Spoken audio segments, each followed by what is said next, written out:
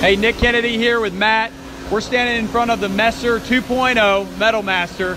We're gonna plasma cut some holes and then I'm gonna take them over to the flex arm and I'm gonna show you how we tap them. Matt, tell me a little bit about the, the plasma cutting process and what we're doing to the metal.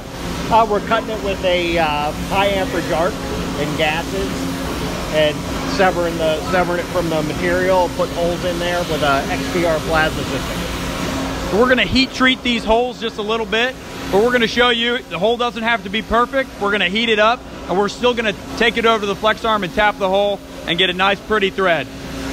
All right, so we just pulled the part right off the plasma messer. It's still a little bit warm. I'm gonna fixture it here and show you how we're gonna tap it with the flex arm.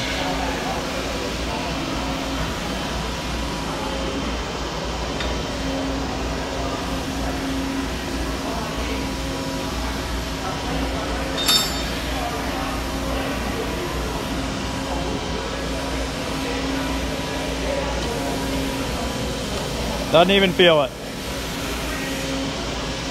Put a little lube on there to help it.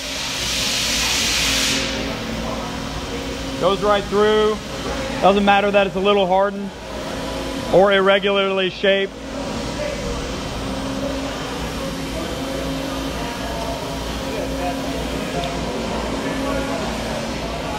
All right, hopefully everybody can see how easy it was to tap that plasma cut hole. The arm comes right over, taps a hole, whether it's hardened, oblong shape, doesn't matter. We can come over there and tap it. Water cut, laser cut, plasma cut hole. Use the flex arm to articulate it over to your workpiece and, and do all your tapping. Give us a call, 800 837 2503, and let us help you with your tapping applications. Boom.